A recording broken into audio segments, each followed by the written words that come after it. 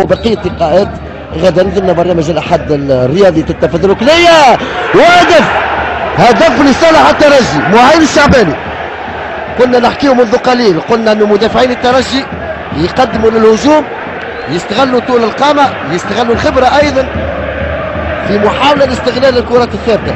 هذا ما حصل في الدقيقة 17 معين الشعباني مدافع الترجي وقائد الفريق يستغل هذه الكرة الثابته أمامكم على الصورة. يحقق الهدف الأول لصالح الترجي الأسبقية 1-0 سامح الدربالي يتسرب من اليمين يوزع في القائم الثاني غياب التغطية. تمكن سيف الله المحجوبي من إضافة الهدف الثاني بتصويب غلطة الدفاع والحارس.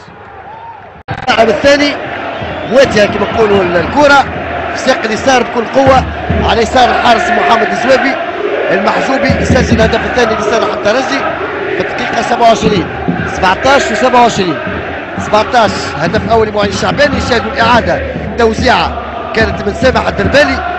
في القائم الثاني بالساق اليسار سيفان المحجوبي. بكل قوة يسدد وغاره محمد الزوابي هاو أمامكم محجوبي العاده لكن الهدف يأتي من جهة الترجي إثر هجوم معاكس قادو اليوسفي الصغير قسومة ما يسيطرش على الكرة. ويهيئها أمام الدربالي مهاجم الترجي ما يرفضش الهدية ويسجل الهدف الثالث. سرعة الهجومات.